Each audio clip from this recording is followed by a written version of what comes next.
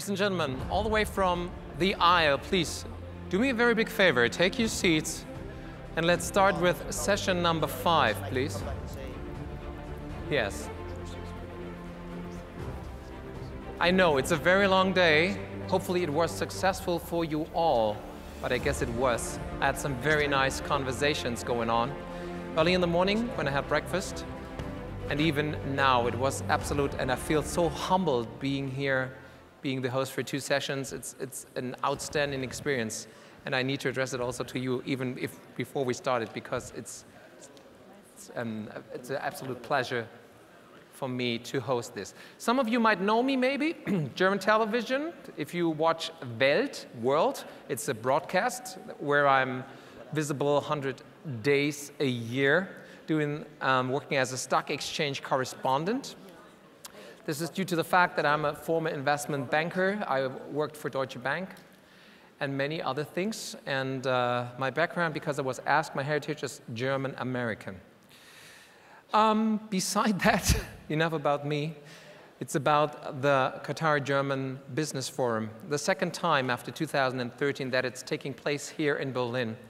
And I welcome you all, excellencies, ladies and gentlemen, back here in the room to participate in the session five, which has on the agenda tourism, health and sports, the road to World Cup.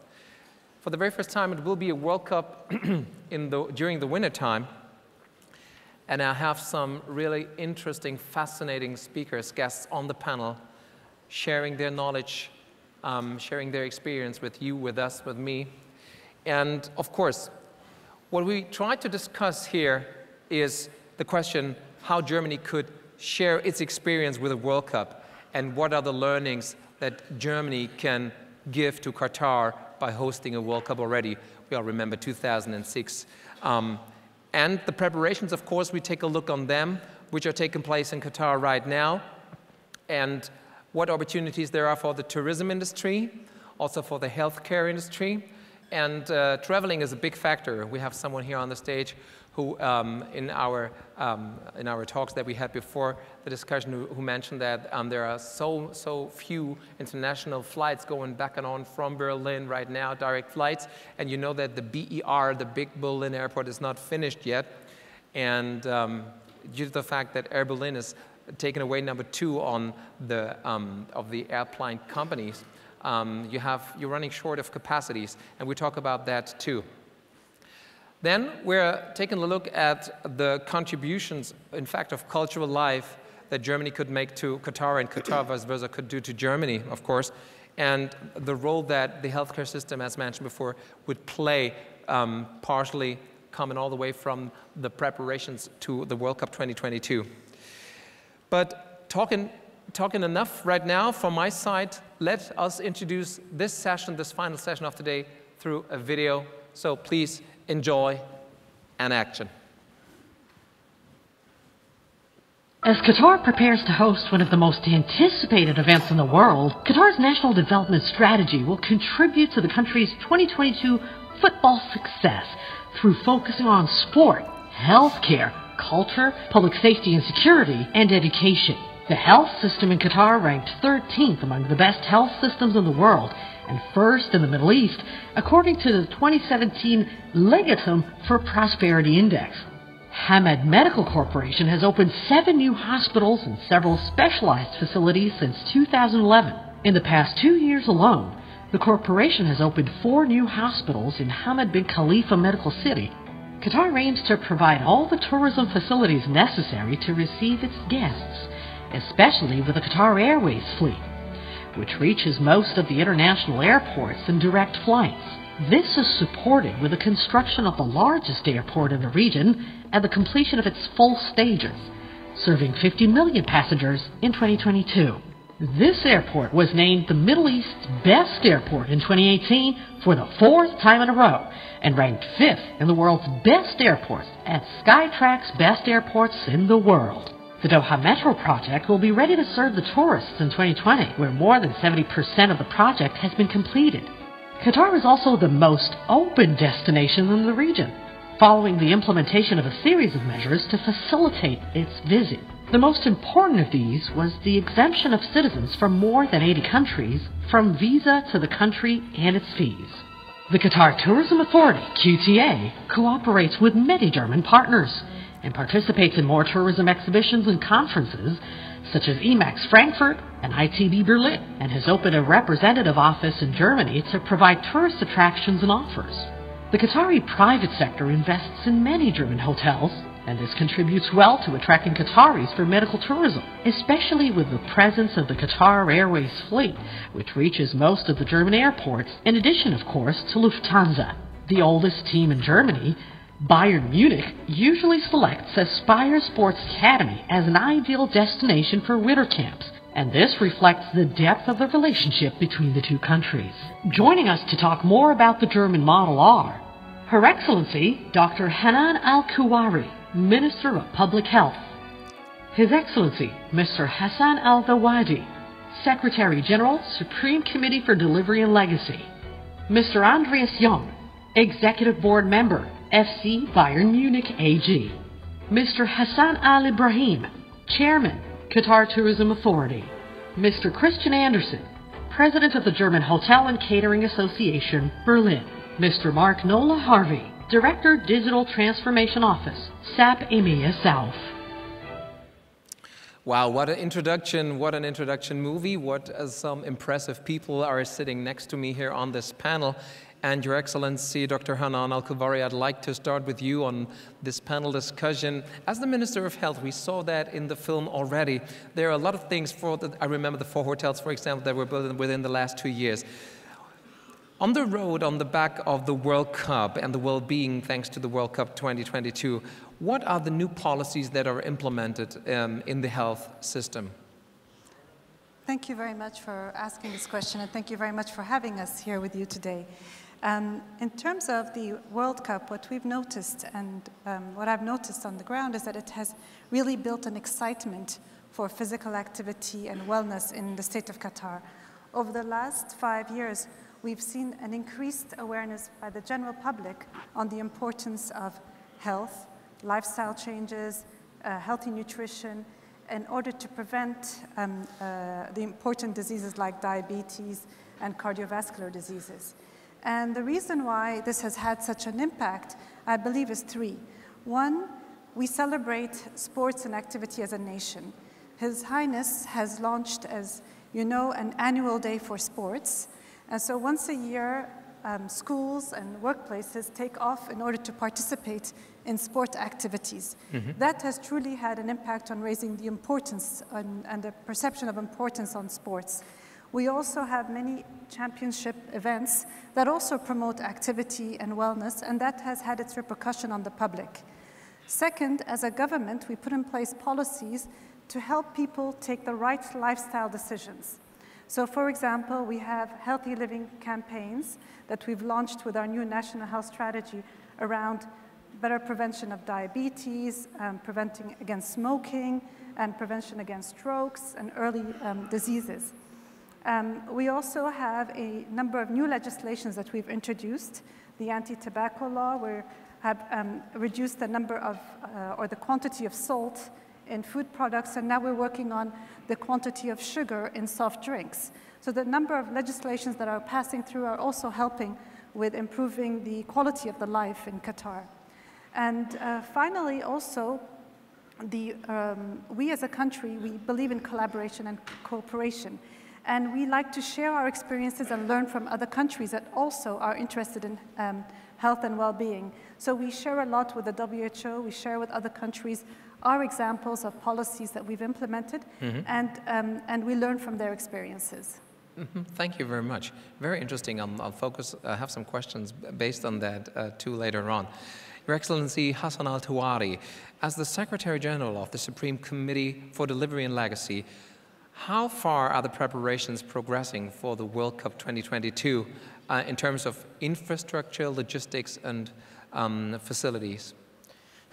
Thank you very much. Uh, again, thank you for having me. It's an honor being on such an esteemed panel, and thank you all for being here at such a late day, or late time of the day. Um, The simple, very short answer is the projects are going according to schedule. We're, we're quite advanced, actually. Uh, we've had nine years to prepare, to plan and prepare uh, the requirements for the infrastructure as well as uh, moving on to the operational side and putting the plans ahead. So today uh, we have presented to FIFA a plan that uh, uh, implements eight stadiums. All the stadiums are at different levels of construction, but quite advanced. Actually, one of our stadiums, Khalifa Stadium, is ready, operational. It hosted last year, sorry, two years, about a year and a half ago, the Emirs Cup final, which is kind of like German FA Cup final. Uh, we are ready uh, by 2019. Two of our stadiums, two more stadiums will be ready by the first quarter of 29, first half of 2019. Uh, by 2020, the, uh, the schedule, uh, we're on schedule to finalize all stadium development. So all construction on stadiums will be ready. Uh, in addition, the infrastructure work surrounding the World Cup is also uh, running according to schedule and in some cases actually ahead of schedule. So for example, the metro system, uh, I believe by the end of this year would have finalized uh, its construction and would be moving on to the testing and commissioning phase. Uh, in terms of the expressways, we have about, uh, I think, 19 expressways that have been finished, and the majority of the work will be ready by 2020 as well. So as I said, if you look at it in terms of uh, infrastructure work, we're, according to, we're moving according to schedule. And now we're moving on to a different phase. It's the phase of preparing operationally, preparing the nation operationally to host the World Cup. So we're talking about host country operations ranging from uh, sewage, uh, sewage management and waste management uh, onto uh, uh, the hospitality industry and the hospitality sector along with our partners as well as the medical industry and so on, you know, for, for the medical assistance. And we're now prepping up and gearing up on, on the operational side. Are there any learnings from the World Cups previously from Germany or from Russia that, where you say, okay, there are some learnings that we can take away for our World Cup? Of course, you always learn from, from, from your predecessors. There's no doubts about that. We've learned from South Africa, we learned from Brazil, we've learned from London in 2012. Uh, but no doubts, for us, the benchmark was always Germany 2006. And recently as well, Russia. Russia 2018, I have to say, have also set a benchmark in terms of uh, hosting a very successful World Cup. And I think the main learnings we've got uh, to, to, run through a very, very quick list. Um, obviously, uh, the operational and logistical uh, requirements are, are uh, and especially when it comes to security management, uh, implementing those ahead of time, managing those ahead of time, and including them both in your infrastructure development as well as in your operational requirements. Mm -hmm. um, but I think also maybe Germany 2006 in particular has highlighted quite extensively and quite successfully is the legacy beyond and the need to actually plan your legacy ahead of time. Legacy doesn't start after the tournament. Legacy starts from the minute you're granted the right to host the World Cup. You start planning for your legacy. Mm. And that's, that's one of the most uh, uh, uh important if, uh, and, and uh, major uh, lessons that we've seen. And as, as I said, Germany 2006 has, has been a great example of that. Thank you very much. Um, it's very good to hear as a German that we did quite a good job in, a, in a way. Not, not, only, not, not only emotionally, you know, that it made something really big here in this country. Um, so it's good that you refer to that. Um, Mr. Jung, you are executive board member responsible at FC Bayern Munich for everything that has to do with marketing. And what we all know and witness, because I'm a big fan of FC Bayern Munich um, since I'm three years old, um, that um, the Bundesliga team um, is going to Qatar now for the eighth year, I think, in a row uh, for their winter break, for the winter camp. Um, I would kindly ask you to describe the experience uh, of the yearly annual meeting and, and winter break that you take there and describe it with your own words to share it with us. First, good evening, everybody, ladies and gentlemen. Um, we had the first experience in the, in the Gulf area in the 2006 to 2008 when we have been in, in Dubai, and later on our coach at that time recommended us just to, to move to um, Doha because he said there is uh, the world best training center, Aspire. We have to go there. And for that reason, um, we, we started and we moved to, to Doha. We had, the, we had some negotiations with the people in, in, Doha at Aspire, and the first year was in 2010 when we uh, moved there. And um, the feedback from the players was that it is absolutely incredible. The quality of the pitches, uh, it's so close, it's like feeling at home because you need not uh, to use uh, a bus or travel to, to the training center because uh, the hotel is close to the, um, the, the uh, academy, the, the hospital is next to the pitches. This is something, uh, the whole location is incredible and is perfect for having a training camp there. And onto that time, till, till now, we are going there every year. In, and in this entire uh, period, we just had one season without a, a, title, and the, all the other years we had at least one national or international title. So that shows us that it's for sure the, the right decision to, to go every year there to, to, um, to Doha, to the Aspire Academy. And on the other hand, uh, it, it was something that, it, that developed uh, something like a friendship in between the people there and, and, and us and our team. And this was growing and growing. And uh, the next step started then also in uh, 2016 um, when we made a cooperation with the, uh, with the people from the uh, Doha International, Hamad International Airport, where we had a cooperation which, is now, which now switched in that year from uh, the Hamad International Airport to, to um, the Qatar Airways. And I have to say, uh, this shows us that um, the people in, uh, in Qatar give us big, big support on, on, on our intention to be there, and, and therefore we are very proud to have these cooperations. Mr. Jung, you mentioned that you went there for the eighth time and that um, with different coaches, head coaches, um, and that the um, circumstances there, that the facilities are in a perfect shape, if I may say it that way. And of course, Bayern Munich gained uh, six titles in a row, um, and you said it. Is it just because also of the medical facilities available in Qatar that um, you are so successful with, with the cup? Um, to be honest, uh, I think they are perfect. But on the other hand, due to the reason that all the conditions are as such good, we never need the hospital up to now. and I think this is uh, the best approval for, for, for Aspire. But on the other hand, we know that we, in case of having any, uh, any uh, issues, that we could use um, a hospital with it, which is perfect equipped, like with MRA and so on. But up to now, cross my fingers, we had nothing. Uh, otherwise, I should have asked Mr. Müller-Wohlfahrt. Huh? he has not so much of trouble experience, maybe then, um, because there is no need.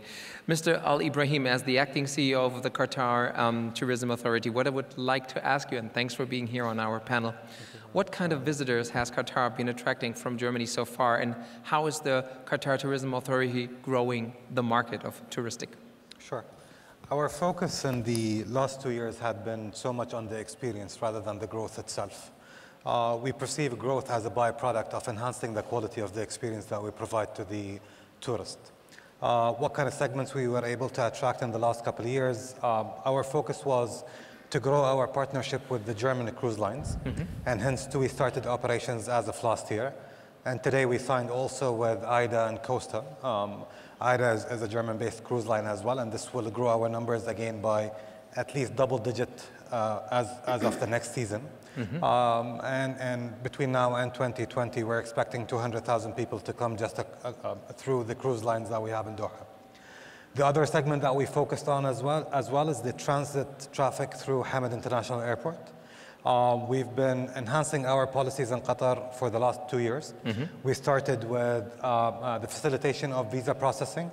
Uh, so the transit visa had been provided uh, free of charge for any passenger that is willing to uh, uh, get a taste of the experience in Qatar and get a taste of our hospitality in Qatar.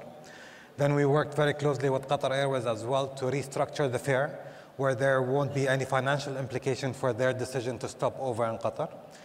And then we introduced a couple of, of uh, uh, products through Qatar Airways, which is the city tour program where people who are laying over or staying over for eight hours, they can just leave the airport, get a taste of the destination again, and they'll be your ambassadors when it comes to promoting your destination. And the other product which we launched as well with Qatar Airways is the Plus Qatar product, which basically provides certain segments of Qatar Airways uh, um, travelers to get a taste of the hospitality of the destinations through staying in some of the hotels in Qatar if they book within certain, certain classes. Um, in addition to these two segments, we focused as, as well on, on uh, establishing and forging relationships with the German tour operators. Mm-hmm. Uh, we've been working for the last few years, ever since we established our commercial presence here in, in Germany, with boutique tour operators and not with the volume growth operators like DERTOUR and TUI and, and, and, Thomas Cook and the likes of. So it's about, it's about quality then? Indeed, focusing so much on equality because at the end of the day, we don't believe in the, in the concept of build it and they will come. We believe in the concept of curate it and they will come. Mm -hmm. So curate the experience, make sure that you provide a quality experience and, and by default, as a byproduct, you will have growth coming with that. So when we got a better, a better understanding of the German market and the German, uh, um, the different segments within the market, we established our first large relationship with DERTOUR. We also signed the, the, the, partnership today with DERTOUR to expand our relationship beyond the German borders. So, so, we'll be working with them on, on multiple markets. And there will be other partnerships that we will be announcing really soon with the main tour operators that will help us with the growth as well. However, as I mentioned, Qatar does not focus so much on growth and, and mass tourism. We focus on individualized experiences and the quality of the experiences as well. And this is how we were able to, to achieve successfully double-digit growth last year, and, and, and this year, till the end of August, we're achieving double-digit growth again from the German market. Uh, that sounds very interesting, um, and that brings me to another question. Are there certain main focus areas of tourism sectors um, that you want to rely on? You, you, you, speak about, or you spoke about the quality, of course, and we saw the cruise lines, but are there other things, um, certain tours, um, some historical things maybe? Sure. So the value proposition for us as a destination focuses on, on fair, uh, four main, main pillars. So the authentic experiences, uh, and this is culture and heritage and, and, and, and both modern and, and, and, and old, uh, basically. Uh, family entertainment is another focus of ours. Uh, we focus so much on both the cultural and social sustainability of our destination. So we'd like to build a destination that will be uh, um, open, that accepts the, the, segments that we will be targeting, and hence cultural and social sustainability is very important, and that's why we focus so much on family entertainment and the family segment. The third will be definitely the most obvious one, and, and this is the uh, sports fans. Mm -hmm. uh, and not just the sports fans, we also go one step beyond. As, as uh, Her Excellency, the Minister of Health mentioned uh, very rightfully, we've been growing in terms of, of uh, uh, awareness when it comes to uh, physical activity and, and, and uh, health in general. Mm -hmm. And as a product of, of that or byproduct of, of such a growth, the events that are happening in Qatar, not just professional events, but even the amateur sports events, the participatory events, and cultural sports had been growing. And we've been supporting these events to attract more and more visitors from abroad. The last and also all, an obvious segment which, which uh, had been grown for the last two decades is the MICE uh, sector. Qatar has the infrastructure, it has the airport, the airline, the hotels, and the MICE uh, uh, infrastructure to host mega events. And this is something that we've been focusing on and will be focusing on also moving forward. Thank you very much. Very Thank interesting. You. And uh, we'll take a look at what the, the, the outcome in the future will look like there when it comes even to the touristical side. When it comes to touristical and things, um, I'm very happy that here is joining us on our, um, on our panel is Mr. Christian Andresen, who is the president of the German Hotel and Catering Association. Congratulations for your election this year. Um, especially here in Berlin, um, we were talking about um, earlier about tourists and the quality of tourists and the amount of tourists that are coming to Germany. Um, you, you, told me that you see an, a huge number and increasing tour, touristic um, industry. Um, do you see an end to this, or is there still um, more to come from your perspective? First of all, thank you for inviting me to this panel. Second thing is, uh, please apologize my voice because I'm a little cold today. Um, and the th third thing is uh, president for, for Berlin, not for Germany. Okay. okay. so I can uh, speak uh, best for the figures of Berlin. We have had a very huge increase every year after um, um, uh, the year 2006 from, from tourists. We are on uh, place three now in Europe um, when we uh, talk about people who stay overnight in Berlin. We have over 30 million now. After London and after Paris, we are on place three now. Um, the first big issue is that we have to finish our airport. We hope to do this in 2020. And you know, we lost our biggest uh, carrier last year, Air Berlin.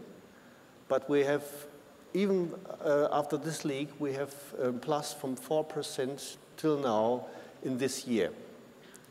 And we think we have, uh, it will not end, but we have to see that we get a um, very close look of it, which kind of tourism we uh, will have in the future, and how we can do for the whole citizen in this uh, uh, country, uh, get a good tourism that we don't, because we see uh, maybe um, like Amsterdam, like Barcelona, we have, we have to be careful not to over tourism a city. Because when you have an over tourism feeling for the citizens, it's, uh, uh, the increase is, will end. Ah, okay. Yeah, you know. So we are very hard working on it. There are two issues we have to uh, have a really close look on because I don't know if you know this, Berlin has only six international flights today.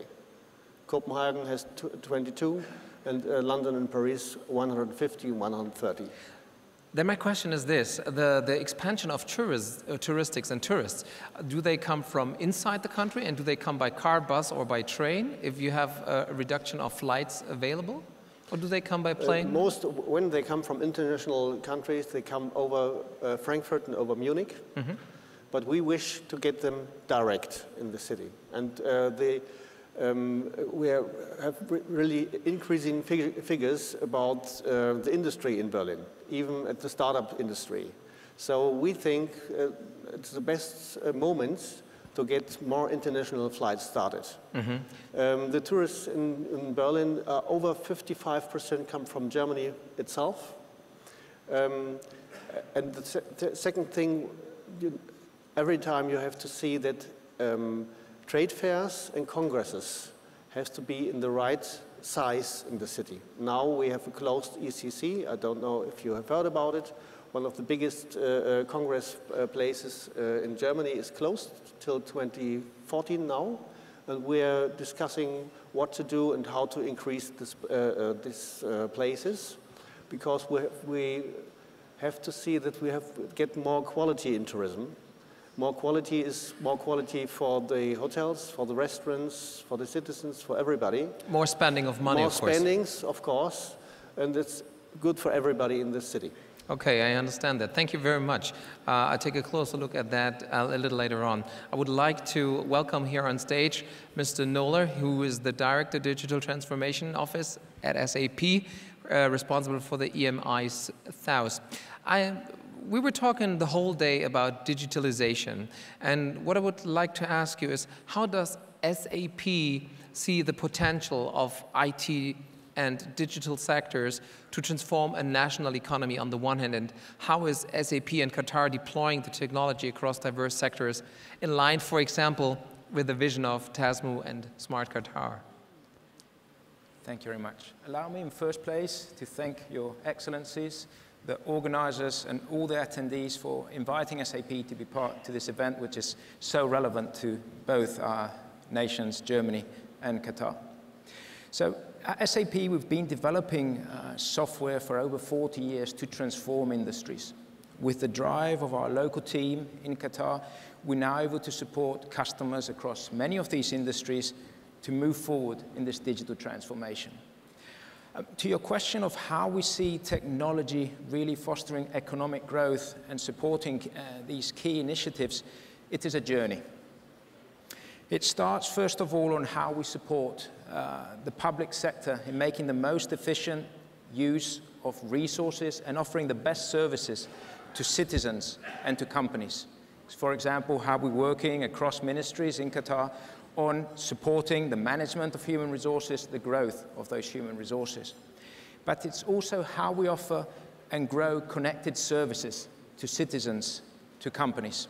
We've heard great cases today, like the single window, like the great healthcare services being offered. And at SAP, we see those as great opportunities to apply new technologies to create new services. Allow me to explain that with an example in, in the state of Queensland in Australia. We're able to support them with machine learning to analyze millions of citizens' interactions, to now predict, in this case, when a citizen or a company is at risk of default in a payment. Mm. Of course, to avoid that situation, but also to understand why and how from a public authority we can proactively reach out to them and help them. That will be a key step moving forward to create new economic growth and foster uh, new strategic initiatives. And finally, it's how do we use technology to improve citizens' lives? And that, at the end of the day, is one of the ultimate goals of the National Qatar Vision 2030. And specifically, if we look at the economic aspects, technology must help us in three ways. In first place, it must help us create new business opportunities. If I focus, for example, in, in tourism, a very relevant aspect also for Qatar 2022, we're now supporting huge uh, hotel brands across uh, the globe to analyze big data on consumers, on customers, on guests to understand the pool of a destination. Which profiles are more interested to visit Doha, to be part of Qatar 2022, and to reach out to them through social media and engage throughout the whole journey. We, of course, need to apply technology also to grow and help Qatar continue to lead in the knowledge-based economy. We're collaborate, collaborating there, for example, with Qatar University to foster new digital skills and use technology also to help startups and entrepreneurs create the new business models. For example, we're going to run with TASMU Smart Qatar a hackathon with startups precisely focused on sports and Qatar 2022. So those are some ideas and experiences on how we can support this kind of initiatives. Thank you very much for what you said, um, Mr. Nola. To be a little bit more precise, I would kindly go a little deeper and ask you, because you were talking about the World Cup 2022, what is SAP's vision on the role of the digital transformation and what role must it play in gearing up to Qatar to host the FIFA World Cup successfully from your standpoint? Qatar 2022, we, we all agree, is going to be an absolutely historic moment.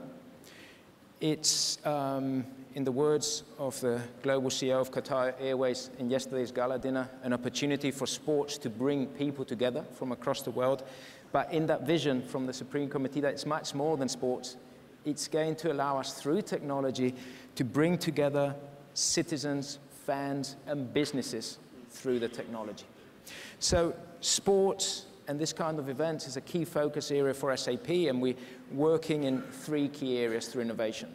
One of them is the event, the sport, the game itself, how we can use um, team performance analytics. We're learning there from top teams like the German national team, like uh, top clubs like, uh, like Bayern, on how we can use analytics to improve the performance of these teams, but also grow new skills. For example, our collaboration with the Aspire Academy in Qatar. In second place, it's how we use technology and experience across industries to make a complete journey for that fan, for that guest within Qatar, within the World Cup. So we're supporting through online engagement with the fans through connected stadium engagement, for example, in the Allianz Arena with, with Bayern, on that complete journey. From the ticketing experience to avoid risks, experimenting, for example, with blockchain to prevent fraud hmm. in, in the ticketing space, to the whole journey on planning how I access that event, how I can use machine learning for safety, and in guaranteeing the best experience during the World Cup. We believe that this kind of convergence of technology, of business models on an intelligent platform is really what's going to guarantee that Qatar 2022 is the best World Football Cup yet. yeah, we keep our fingers crossed that it's going to be. you know, um, it's it's of course a great experience, and it will be a great experience. Um, that brings me again to, to Mr. Jung. Uh, Mr. Jung, I would love to know because we heard so much about um, the potential that this World Cup brings, not only to Qatar, but also to Qatar.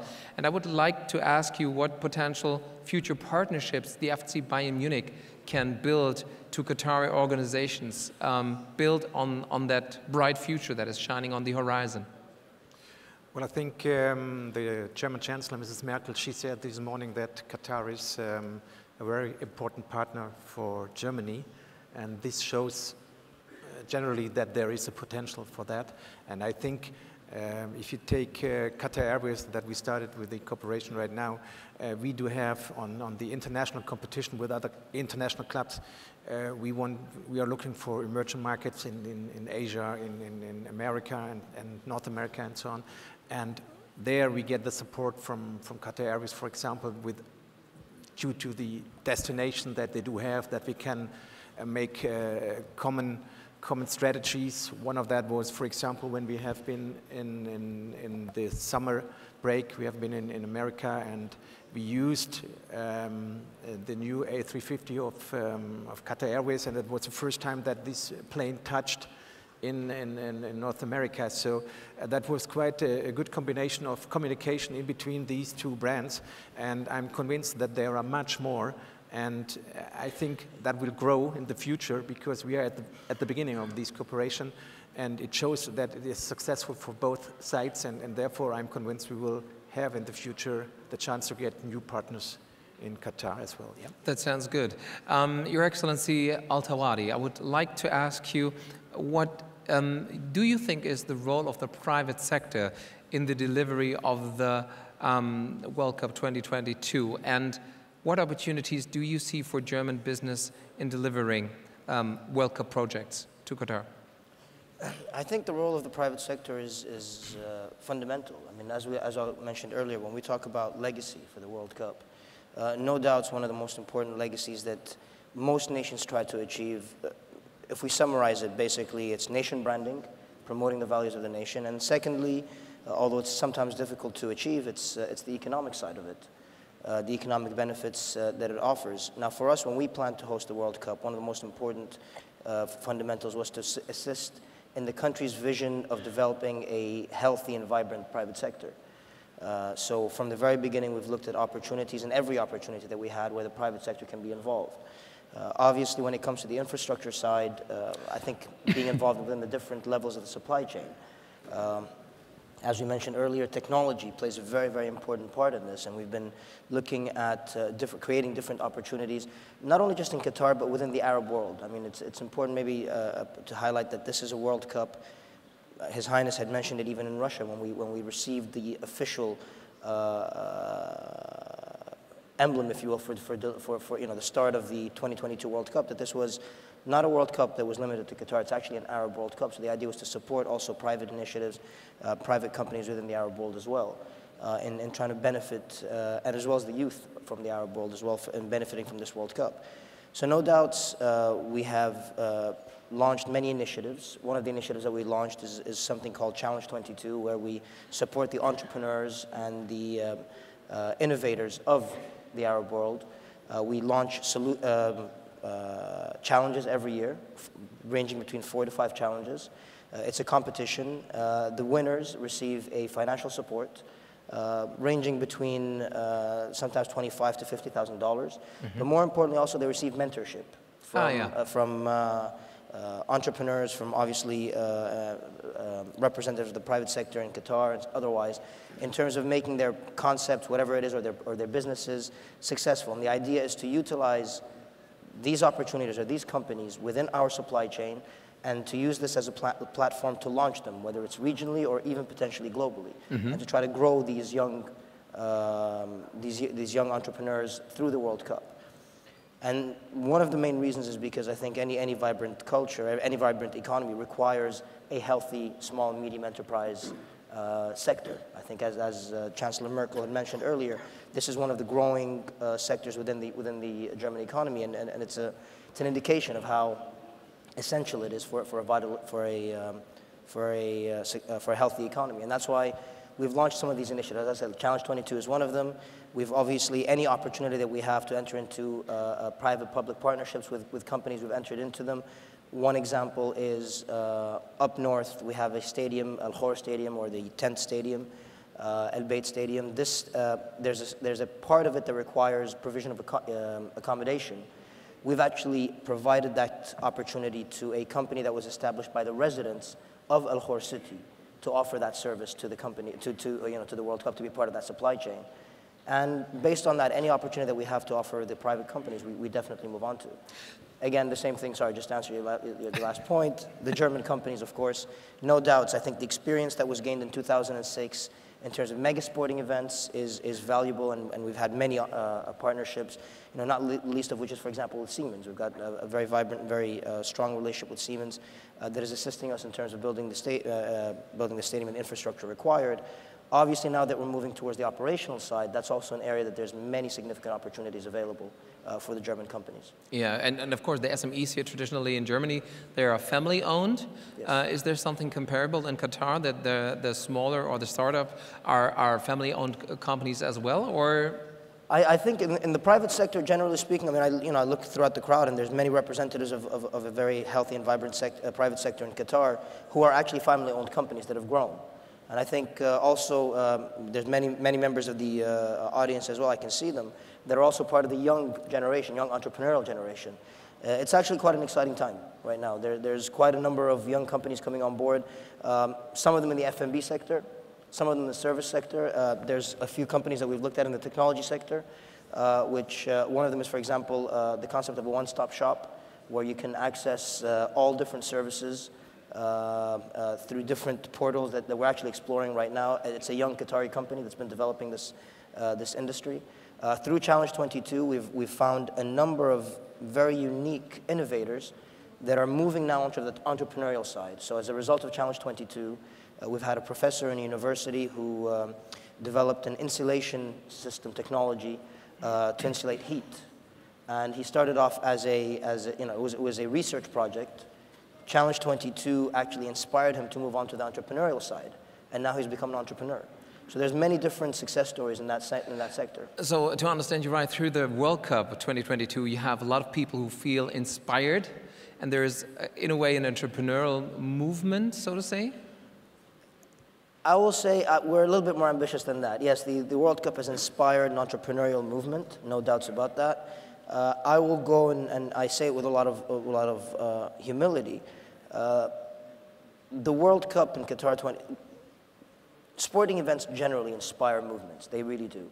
And as you said, Germany 2006 is, is one fantastic example. I will even go back in history and say Germany winning the World Cup in 1934 was another inspirational moment for a nation. And I believe the World Cup in Qatar has inspired a nation, and it's not just the Qatari nation, but rather the Middle Eastern Arab nation. Mm-hmm. There's many different uh, uh, uh, movements, uh, whether on the social side, whether on the entrepreneurial side, economic side, uh, that this World Cup is truly working very hard to, to achieve. It's a very grand ambition, not the least of which is trying to uh, build bridges between the East and the West, bringing people together. We've seen the success in 2006. We've even, even seen the success in 2018 in Russia we are aspiring to break the mold. Put it that way. okay, thank you very much. Your Excellency, Dr. Al Kuwari, I would like to know, because we were talking about the private sector on the one hand, but the, of course, um, the health system in Qatar um, and the role the private sector plays in exactly the health system is different because usually a lot of money comes from the state and uh, the state invests in the health services when, it, when you switch it a little bit from the, from the state to the private sector, what opportunities do you see from German companies to invest in the health system in Qatar? Um, well, already the relationship between Qatar and Germany in the health sector is very strong. I would say Germany is the largest uh, partner we have, in, especially in the field of medical technology and the pharmaceutical area in mm-hmm. healthcare. Mm -hmm. Um, and there's a lot of opportunities for German companies and the private sector in Germany to continue to contribute, especially when it comes to infrastructure development and system development or um, service development. Um, so as you've seen in the uh, presentation, Qatar has very high standards for quality.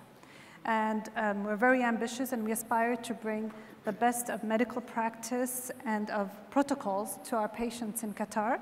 And Germany has very high standards. And, and you also aspire to bring the best to your patients. And I believe that that is a very good opportunity for collaboration. In terms of infrastructure, um, both the public and private sector in Qatar are undergoing massive um, growth. So in terms of uh, public hospitals or public system, over the uh, next four years, we'll be witnessing the opening of 12 hospitals and 10 um, wellness centers. Are these general hospitals? Um, these are uh, specialty as well as general hospitals. Okay. Mhm. So a combination. Um, and also in the private sector, we've seen the doubling of the private uh, sector beds over the last couple of years. And we have a strategy to support the private sector development with the aim of increasing the role of the private sector about 25% per year. So that's very ambitious. And the government has subsidized a number of private sector projects, um, especially subsidizing land and, and uh, facilitating uh, policies and protocols to help hospitals that would like to set up in Qatar, um, hospitals from across the world that would like to partner with Qatari um, uh, businessmen and set up hospitals in Qatar. Um, uh, the pharmaceutical manufacturing industry, if they would like to participate in the, in the sector. So there's a heavy government subsidizing in these areas. So that's for the private sector. Um, and also, in terms of service development, we always seek um, partnerships for training and developing of our workforce. So we train a lot of doctors here in Germany, and I know there's a few here that are trained in Germany. Um, we also send our patients to Germany, but more important, the relations we build with the private hospitals or the public hospitals that we send our patients to is one that is um, around knowledge transfer. So the doctors, German doctors come to practice in Qatar, um, and they transfer the knowledge and practice to our doctors. Um, and the same um, is across the um, uh, uh, quality improvement. So we have joint research with um, uh, hospitals in um, Germany. And for example, we have a very strong partnership with the University Hospital of Heidelberg. Okay. So we have a long-standing relation with them. Over the last 10 years, they've helped us build a number of programs. And um, our emphasis on research, on development, on new protocols, means that there's always opportunities for the public and private sector in Germany con- to contribute to their counterparts in Qatar. Is there a certain program um, and exchange in certain areas of hospital, uh, in, the, in the hospital areas where you say there, there needs to be an increase because there is on the one or the other side a lack of um, knowledge? Um, because we're developing so rapidly, we are always seeking um, uh, uh, knowledge and development in the different areas. So we're very open to um, any sector or specialty that would like to come and contribute to the development of Qatar. We have areas that we emphasize in. So, for example, we have a high incidence of diabetes, so we're always looking for experts in diabetes who are willing to come and set up practice in Qatar. We have very strong protocols, our own protocols, but we look for international collaborations in this area. Cancer is another one, neuroscience is another one. So, a number of disciplines that we're uh, welcome um, uh, our German uh, colleagues to come and participate in. Uh, From your experience, this question goes a little deeper. Um, is do you have the impression that here the, the infrastructure that you found in hospitals um, is is made or needs to be adjusted in, in, in a way to uh, to get along and to deal with those cooperations from Qatari? Because sometimes my impression is here in Germany that there is a lot of bureaucracy and there are a lot of um, long-term investments and stuff. It's not so fast. When you're talking about fast development, Yes. is is this um, a, a hurdle that needs to be overcome somehow from your experience? Um, I think that the German hospitals, uh, public and private, are doing a very good job towards that. So I think we as Qatar, we have a very um, a strength. Our strength is our rapid development. So that is very unique to Qatar. We have developed very rapidly and we continue to develop very rapidly at very high standards. But the German hospitals, our counterparts, have also uh, been adapting to work with our patients. So we've noticed that a lot of the public hospitals that we work with, as well as the private hospitals, are um, uh, improving their processes to work with our patients better. So um, uh, introducing translation services, fast track processes, and um, a lot of the German businesses are working very strongly in, in Qatar and have already adapted to the region. So that sounds like a perfect win-win situation on both sides uh, in the health um, uh, system, which is which is great to hear. To get some feedback Mm-hmm. from from you here um, towards the German hospital um, infrastructure. Um, Mr. Al Ibrahim, um, the thing is, we were talking about the World Cup already um, and the huge development, and I, we learned that you're very rapidly uh, working in Qatar on a general basis. You have a lot of entrepreneurship going on. When we were talking about sustainability, um, of course, due to the hospitality requirements for the World Cup in 2022, um, sustainability is, of course, a challenge. And how do the QTA address that issue? Sure. When, when we're talking about sustainability, again, I, I, think you're referring to the number of units and the number of, of hotels that will be exactly. coming online very soon.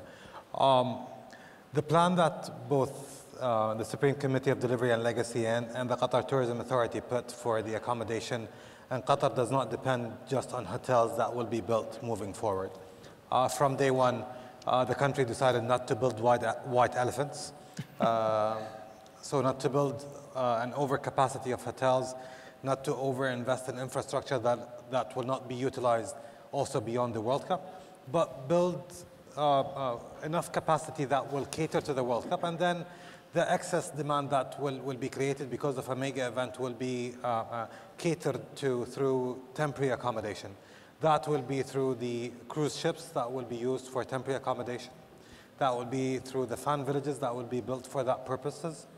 That will be also for uh, uh the regular apartments that will be transformed into serviced apartments or serviced uh, units that will cater to, to that uh, segment as well. The same applies to the destination management companies. We're trying now to work very closely with the destination management companies in Qatar to grow their capacity and to grow their capabilities, uh, both in terms of uh, uh, um, uh capex investment as well as uh, human ca capacity as well.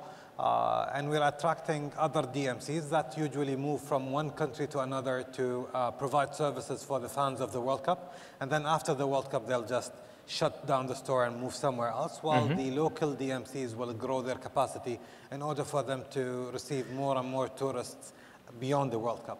Uh, so th that, that had been our focus, uh, uh, and it is our focus moving forward, not to overbuild, not to overstaff, uh, uh, not to over uh, do things that will not be sustainable on the longer term. Did you have experiences then uh, from the World Cups uh, in Germany, in South Africa, in Russia, where you have takeaways and lessons learned that you can say, okay, we expect these amounts of people to come and um, to, to have uh, this uh, amount of hotels available and infrastructure available? Oh, de definitely, definitely. So while we are learning from other World Cups, but our World Cup is going to be uh, a bit different in terms of the challenge that we will have. While the other World Cups are spread in many cities in, in, in, in these countries, our challenge is going to be we're going to have a World Cup in, a, in, in Doha, most probably. And, and we need to deal with this challenge. We need to make sure that we are delivering to the experiences that we're promising, the amazing experiences that we're promising the world. It's going to be challenging, but it's going to be a, a, a nice challenge, a beautiful challenge that we will take forward.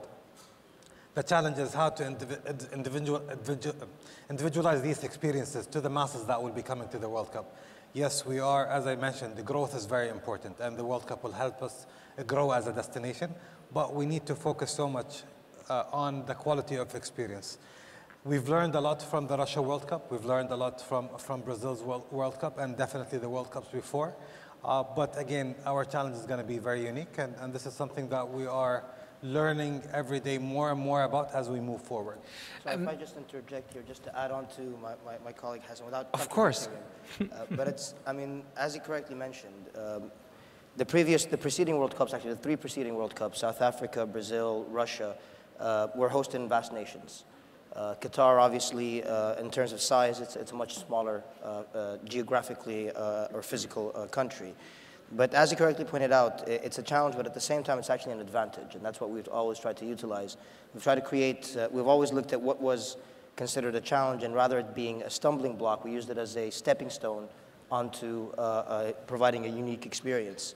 Uh, the size of the country allowed us to deliver a, a, unique concept, which is the Compact World Cup, which is effectively providing the Olympic experience, if you will, but in the World Cup. Mm -hmm. So rather than uh, mainly, let's say, let's take, for example, teams, national teams. Usually in the previous World Cups, they would have to travel from uh, city to city, vast uh, distances, uh, land in different locations, acclimatize themselves to an accommodation, training site, and then go perform at the highest level uh, uh, on, on the pitch. In the Qatari World Cup, you won't have that. It's actually a compact World Cup, so the accommodation will be one, teams will be able to focus on delivering uh, their best on the football pitch. The same thing if you take, for example, fans. While it is a challenge in terms of size, but at the same time, it offers the fan, fans a very unique experience. It offers them the, the opportunity to potentially even watch more than one match a day. They can match the first, uh, fans can watch the first match and potentially the third or fourth match in the same day as well. Uh, access to the stadiums is quite, uh, it's, it's quick. Mm -hmm. especially considering the, the, fact that the um, transportation infrastructure is uh, going to be state of the art and up and, up and running very, very soon.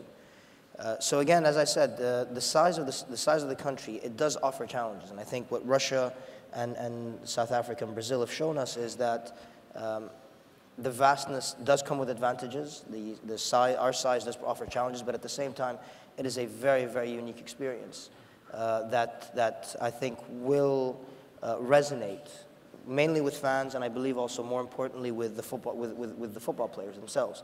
And you will see higher quality football on the pitch.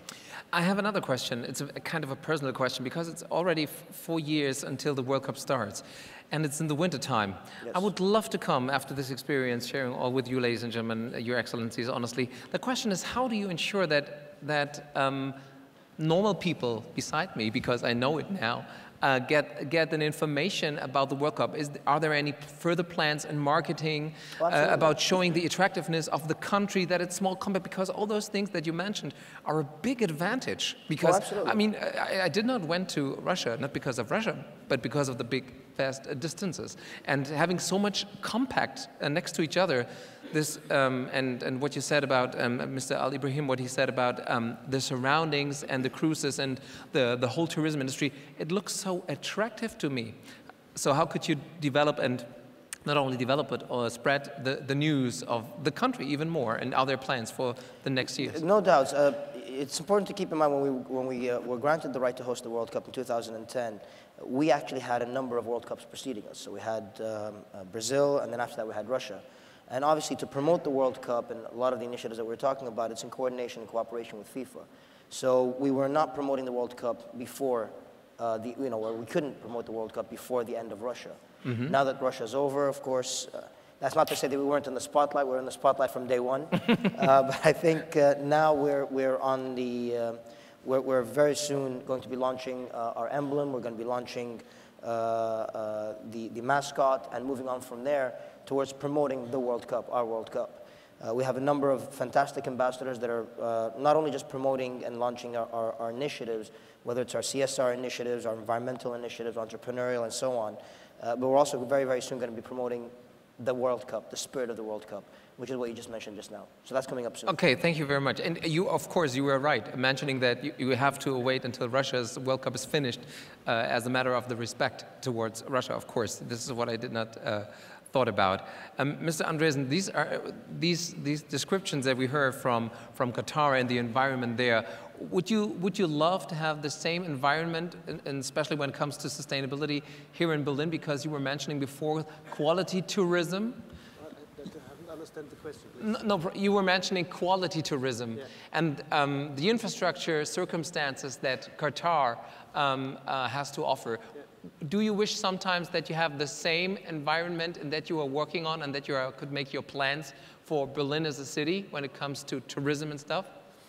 Well, I think um, the, the really relative things are you have to think over what your issues in the city are every time.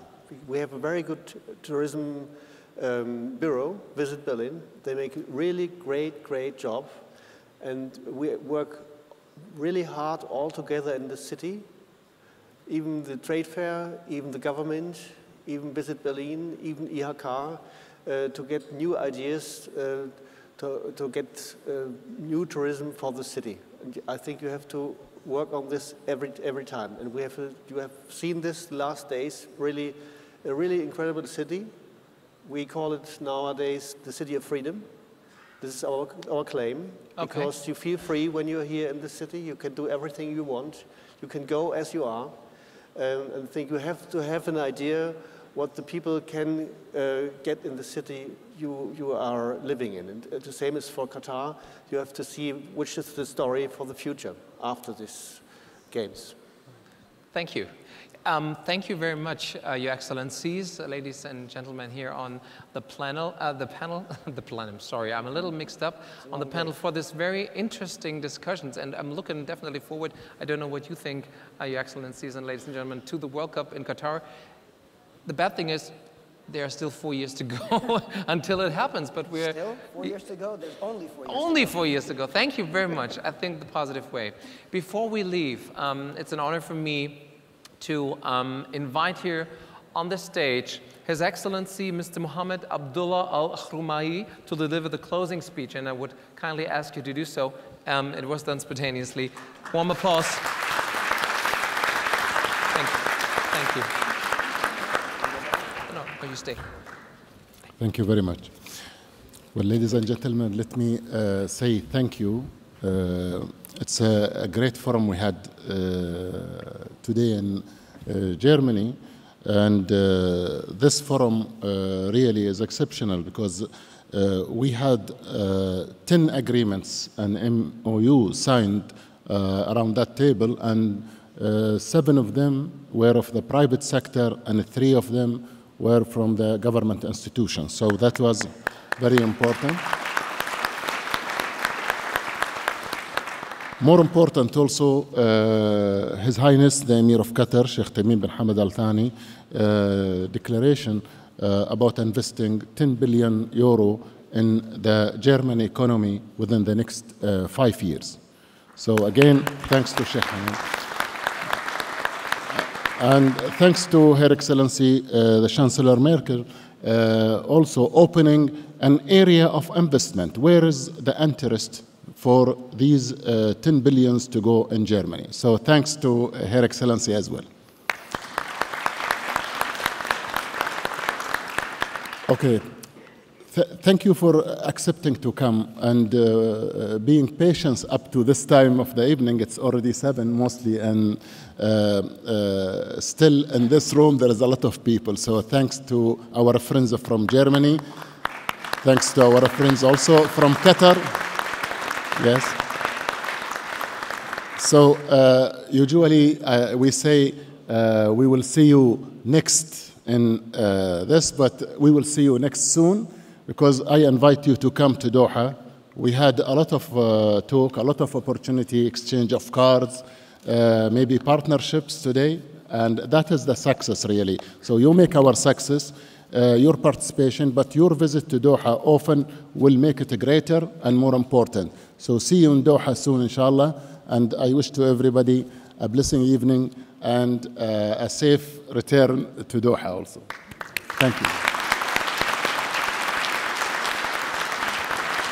Thank you very much, Excellency. Thank you very much on the panel. Um, that's it. A very successful uh, Qatari German Business Forum ends for the second time. Network, do what you have to do, reach your planes. It was a pleasure hosting you and see you next time, whenever this will be. It was a very, were a very, very great experience. Thank you.